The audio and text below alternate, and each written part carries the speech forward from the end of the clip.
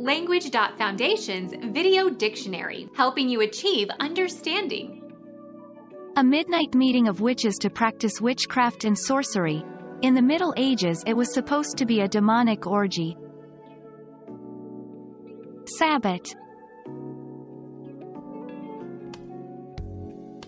Become our student and get access to effective and free educational materials.